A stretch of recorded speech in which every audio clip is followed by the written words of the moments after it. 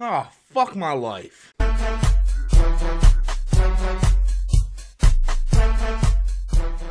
So I was in a good mood. I was in a very, very good mood.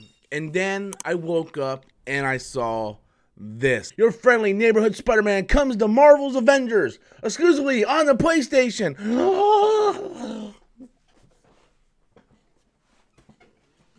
Come on, man. Now it looks like I gotta go out and get the PlayStation 4 version of the game. Which, you know, luckily for me, I own a PlayStation 4. But still, man. It's like I really wanted to get this game on PC. I really wanted to play this game on PC. And now, in order to play my favorite character, Spider Man, I have to play it on the PlayStation 4. Oh, fuck my life. Yeah, apparently, you know, a lot of people feel the same way I feel right now. It's like Square Enix Avengers game is getting PlayStation exclusive Spider-Man character, and that sucks. And this is coming from The Verge. So a lot of people are really starting to a lot of people feel the way I feel. You know, I'm so tired of this content exclusive type shit, man, when it comes to these third party games.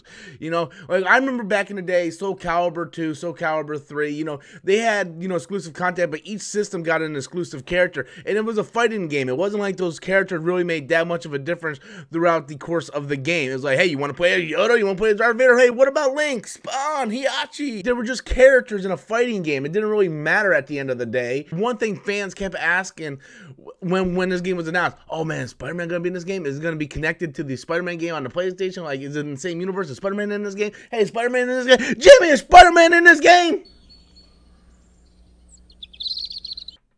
Yeah, he is on the fucking PlayStation. But yeah, so so it kind of bothered me because now that kind of forces my hand as a consumer to purchase the PlayStation. Like it's great for PlayStation. Don't get me wrong. Like, like business wise, this makes all the sense in the world. As, as a, a business, Sony did nothing wrong. This, but, but as a consumer, this fucking sucks donkey nuts. Like as a consumer, this sucks because now it forces my hand to purchase it on the Sony PlayStation 4 rather than get it on the PC that I originally wanted to get it for, which kind of sucks ass. Now the, the next important thing is with this being uh, exclusive to the PlayStation, does that mean that Spider-Man really doesn't have any story in the in the game? He's basically just a playable character. So, in all honesty, now is that what this means? Does this mean that Spider-Man really not going to have much of a story arc in this game? That is he just going to be a playable character? Because how are you going to be able to have him in the PlayStation version, but not in the PC or Xbox version? So I don't know a lot of questions. We're gonna have to wait until we see the state of play, see if they uh, show more information on that. But I'm not gonna lie, guys, this kind of bums me out a little bit just as a consumer. I think we're getting to the point in life where games on, especially third-party games that are on all the consoles, I, I really don't like the idea of exclusive content of something of that magnitude. And I know a lot of people are like, "Well, Rob, Sony owns the rights to Spider-Man." No, they don't. They own the rights to the movies. The movies. Sony only owns the rights to the live action film.